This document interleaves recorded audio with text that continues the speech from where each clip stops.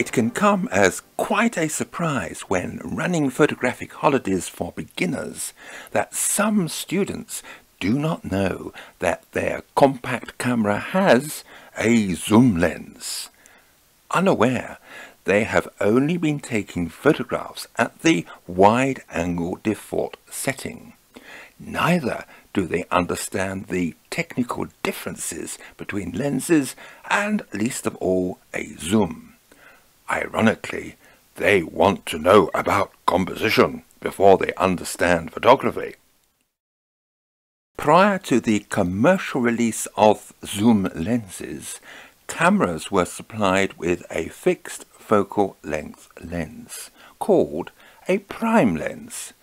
Cameras that did not have interchangeable lenses were usually supplied with a prime lens permanently fixed to the body known as a standard lens because the perspective was similar to the human eye.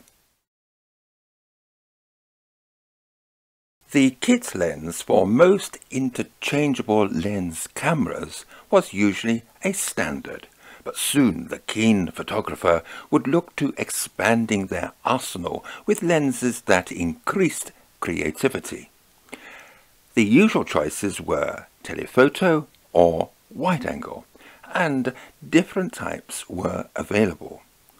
A telephoto lens brings subjects closer, such as wildlife.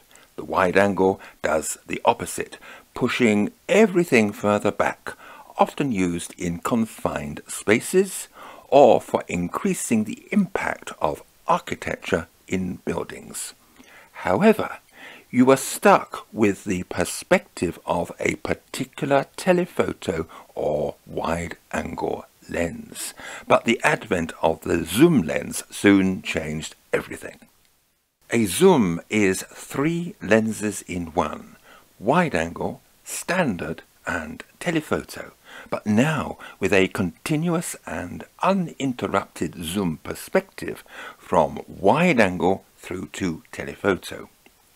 At first, the range was limited, with only a 3 times magnification, but today 10 times on quality lenses is common, and some zoom lenses expressly designed for permanent attachment can sport a magnification of at least 50 times, ideal for travel photography where weight and size are restricted.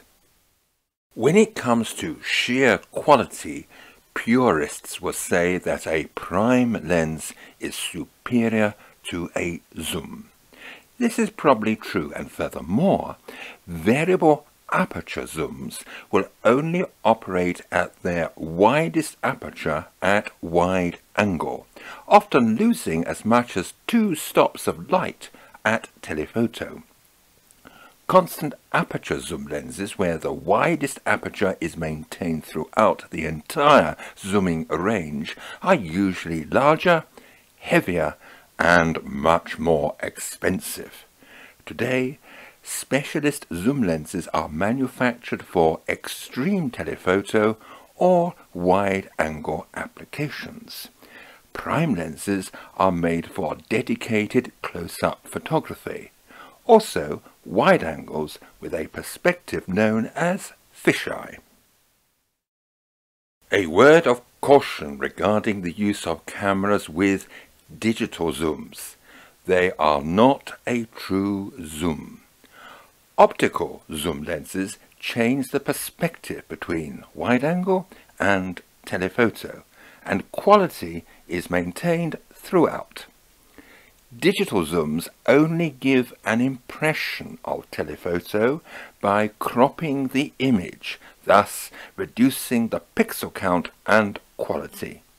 Furthermore, some compact cameras with a fixed zoom will routinely change into digital zoom without your knowledge. To avoid unintentional reduction of photographic quality, this facility should be switched off from the camera's menu.